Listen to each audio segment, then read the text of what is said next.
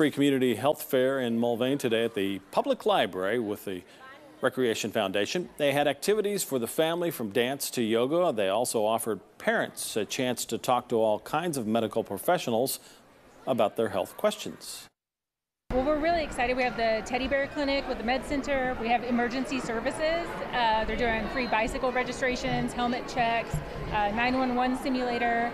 We've also got um, our Mother's Day Out is leading gymnastics, and our fitness instructors are having like yoga and taekwondo demonstrations. The main goal of the event is to connect people in the community with resources they might need.